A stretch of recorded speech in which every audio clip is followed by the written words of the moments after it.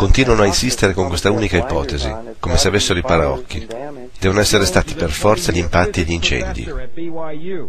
Il professor Jones insegna fisica da vent'anni all'Università dello Utah e propone un'ipotesi diversa. Esplosivi piazzati in precedenza negli edifici. Particolarmente interessante per Jones il World Trade Center 7, danneggiato e incendiato dai detriti delle torri, ma mai colpito direttamente da un aereo.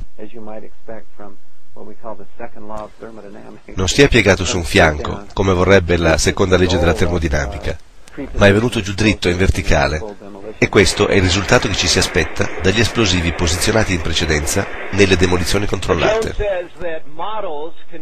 Il professor Jones ha detto che tutti i tentativi per cercare di replicare quello che è accaduto agli edifici non hanno mai avuto successo.